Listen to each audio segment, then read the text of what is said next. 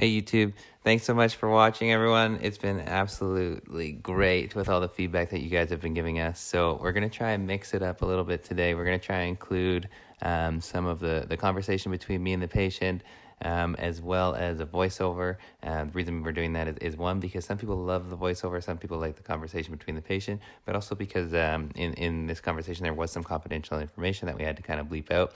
You might notice a couple bleeps here and there, and again, that's just kind of bleeping out. Um, information that, that we might find sensitive to the patients. So bear with us as we kind of go through this and test out this uh, new attempt for the video. So for this patient, what you can see is kind of the, the, psoriatic plaque that I'm working on right now. And you can see me doing that on the left foot there. Um, so you can see I'm not being overly aggressive. And the reason being is due to the psoriatic plaque. Um, and I'll kind of explain that in a little bit.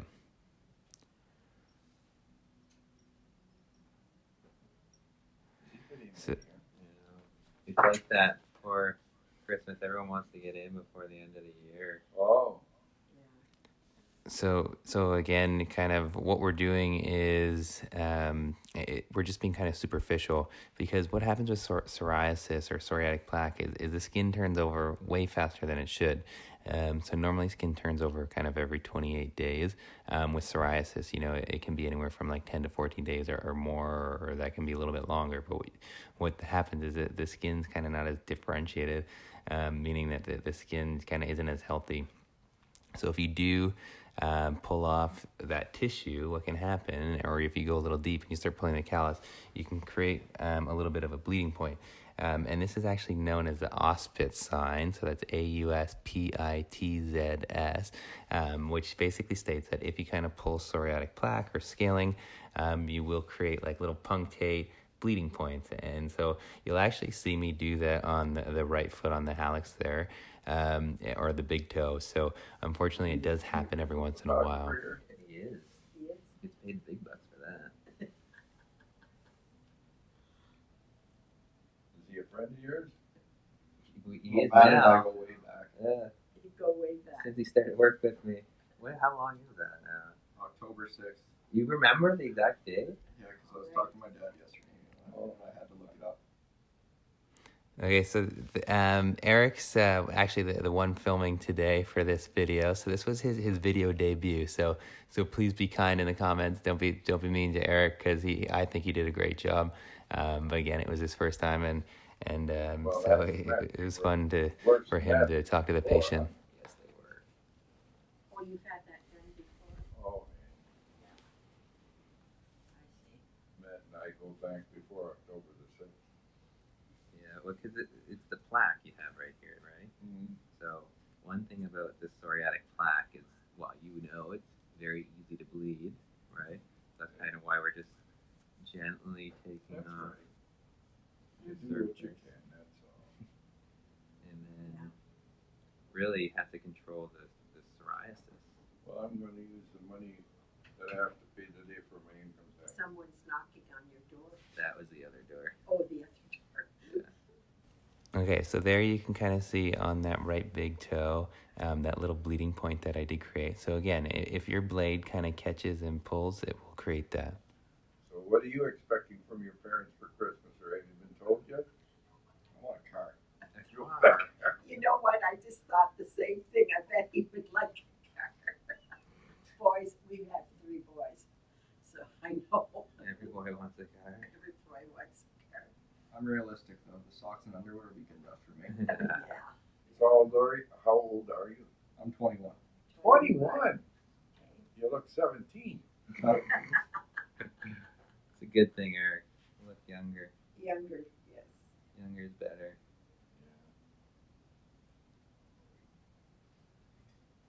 So should I put cream on my feet or? Yes, twice a day.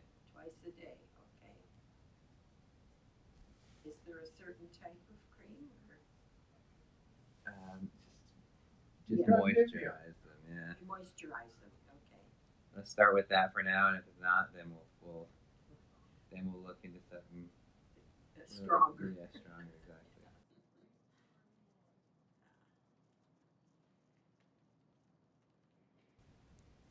Yeah, usually I use a foot file to do my heels. Yeah, that's good.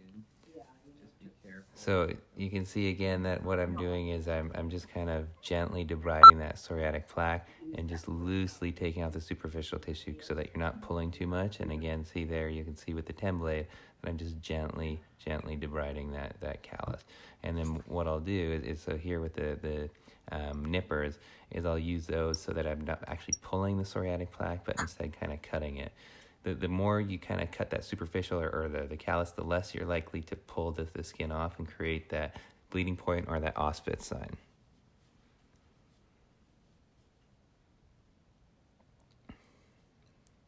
Now, so with psoriasis or with psoriatic plaque, there, there's many different types of treatment. Um, so one of the, the treatments kind of of choice, you know, would be to start with like a, a cortisone cream um, topically. Um, this condition in this case is, is, actually has been referred to a dermatologist, um, and what they the, the, patient comes to me um, for kind of just regular callus care. So the, the dermatologist is actually working on this in this case. So we've kind of got the go ahead to, to keep the callus at bay um, while they try different things. Um, to make sure that the, the callus kind of stays at bay and then hopefully trying to get it resolved. Um, it has it actually has gotten quite better over the past couple of months, um, but we want to kind of continue with it and, and keep going. One of those th- um, therapies is also kind of UV therapy, um, so using light therapy to help with the psoriasis, or there are oral medications that patients can take um, that will help to get rid of the callousing tissue. I was at the liquor store yesterday for my Christmas booze. Yeah. I only go there once a year. Yeah. I can't believe how many different kinds of beers there are. Yeah, well, it's gotten really like craft beer's gotten really Yeah, popular, right? But all the imported beer, like, I know you it's amazing. But it, I think they finally realized that like you can, you know, like they do wine pairings and different things like that. Now I think they're becoming more popular to do pairings with beer as well, mm-hmm. right? yeah. So people are. Well, my son, when we were there for dinner yesterday, he had pear cider. I don't like cider. something, but it didn't taste bad, you know. Parasite. Yeah.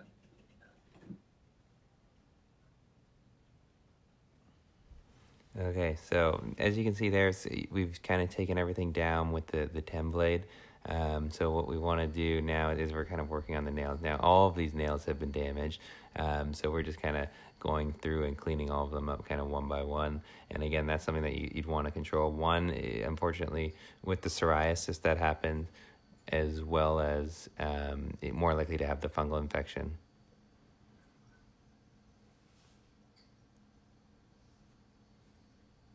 No, she's got the year off to Mhm. take care of Fletcher. which is- Yeah, New baby. New baby, yeah, yeah. seven months. Seven months, yeah. And so here you can see I'm working on that big toe, um, and you can see how thick that nail has gotten, and then the, the fungus kind of underneath. So the fungus, what it does is, it, is it's a dermatophyte, meaning that it eats kind of underneath the nail and it eats away at the, the skin, or kind of feeds off the skin. It would be kind of a better term. Um, so I'm kind of getting in there using kind of the, the tip of my um, nippers and getting in there to kind of get as much as that lifted nail off as possible.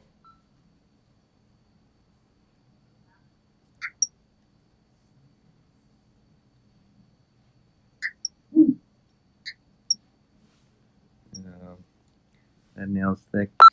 I know. I think uh, that one is too, right? Oh, yeah. Yeah.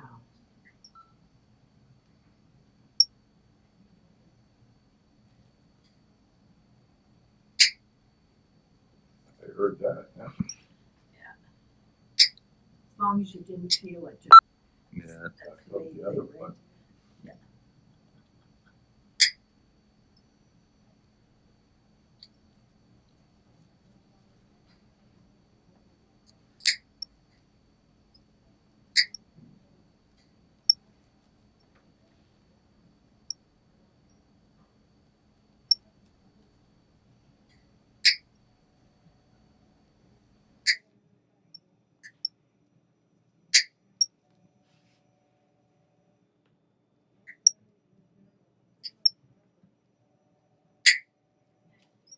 That's all fungus there. And then so there you can see where I, I just kind of mentioned that, and there Did you is say that like darker there? color Yeah. tissue, that's Yes, just make sure you know. Well, the dermatologist knows, and so that's what they're working on, right? Yeah. That's kind of why. Well, well, you've seen them tomorrow, right? Yep. Perfect. So what is it, what do I tell them? Uh, just you can just show them the nails, right? They figure it's a fungus.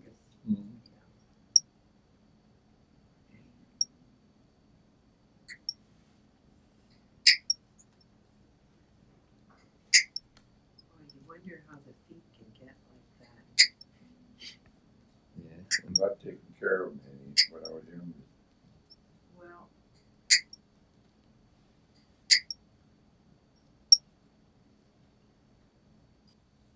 Okay, so one of the, the main reasons why um, the nails have gotten so thick is just due to um, the psoriasis and the fungus. So it's kind of unfortunate that the um, for this patient that they're experiencing both. So the, the nails obviously become damaged from the psoriasis, um, and then the fungus is more likely to to attack a nail that's already damaged or, or um, infect a nail would be a better term to use. Um, so you can see there that that's kind of what's happened. Um, and then there, there's obviously slightly a little bit of, of um, you know, lack of, of care and, and not proper use to adherence of, of medication and, and kind of treatment there. Um, so that, unfortunately, um, the nails sometimes become a little bit worse with time.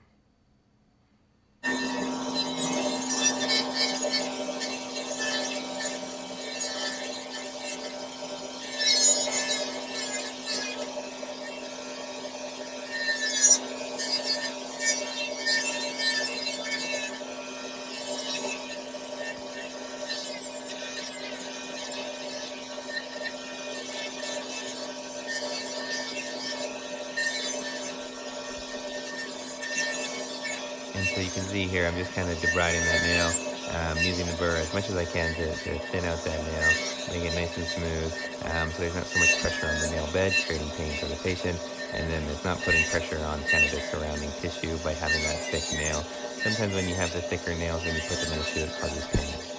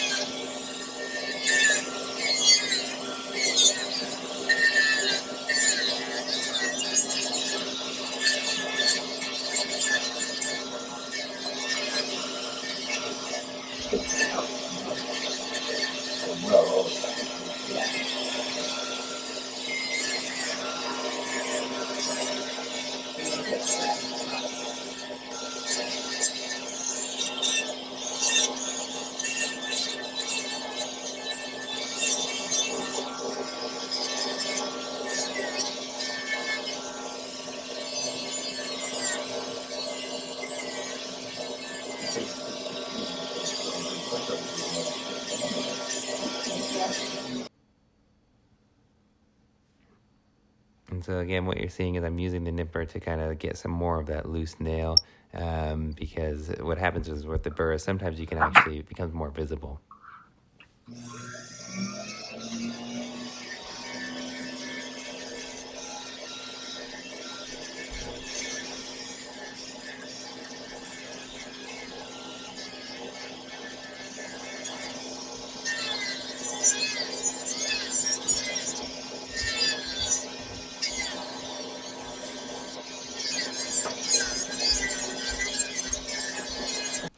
Again, here you can see what I'm doing with the burr is just kind of quickly moving it across the, the, the big toe.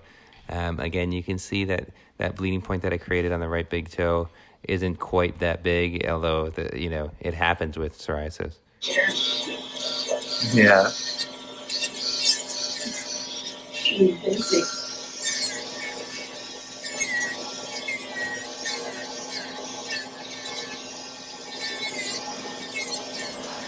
Especially on the switchboard, it's a real fun place.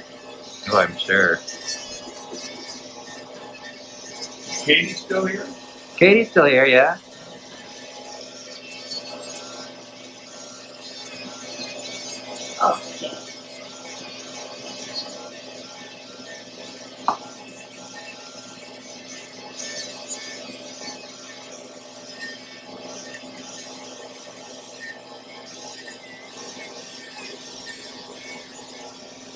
And so here you can see I'm trying to move that the, the drill as fast as I can. Don't want the tissue heating up too much, so I'm kind of moving back and forth. Yeah. On your YouTube channel. Yeah, you- So this lovely patient was asking about our YouTube channel, so um, don't know if he'll, he'll actually check it out, but um, again, we appreciate everyone watching the videos that we've been posting. If there's anything that you guys want to see, make sure to mention it in the comments, ask questions, and we'll get to them.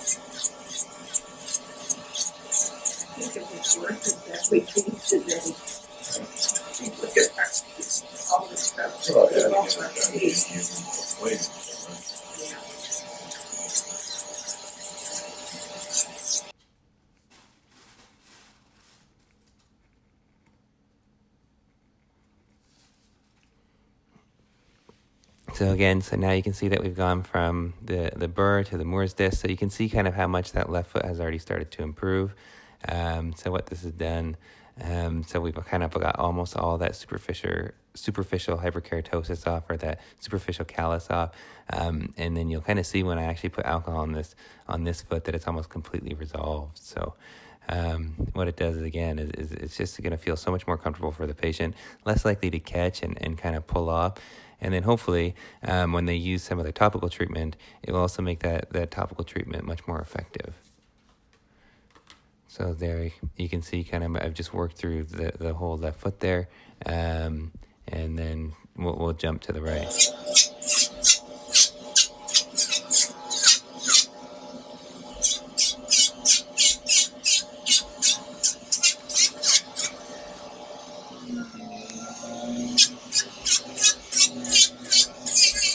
Some stuff out there, man. Yeah. Sorry. You're gonna be ten pounds lighter.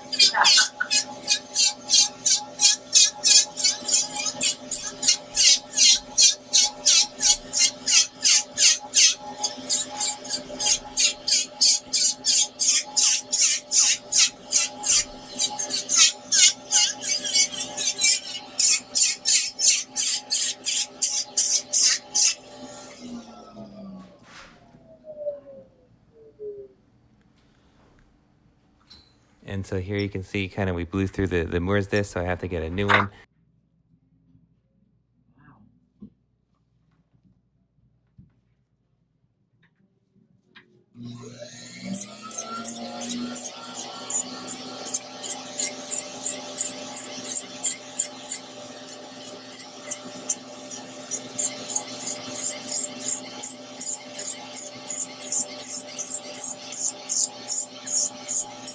So again, you'll notice on the, the right foot here, we can't take off as much callus just simply because there is more of that psoriatic plaque.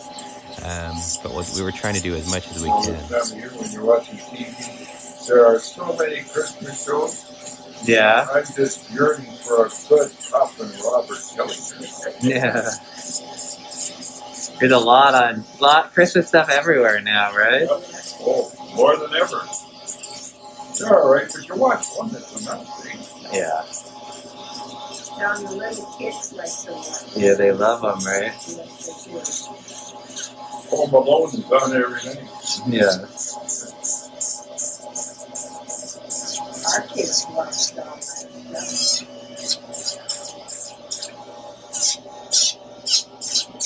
When they weren't watching sports, Yeah. we had three boys. Yeah. Okay,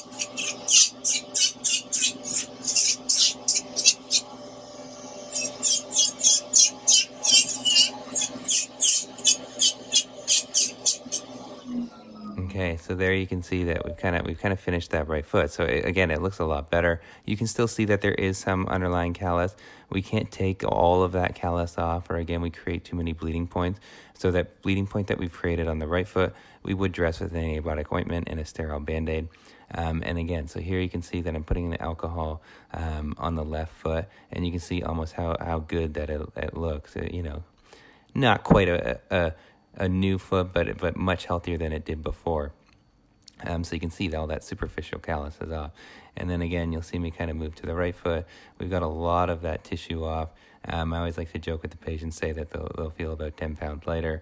Um, but you can see that there, there's just that, that minor kind of cracking, and, and with the use of potentially topical um, corticosteroids or topical creams, uh, light therapy or, or, even oral medication, you can get that foot looking a lot, lot better.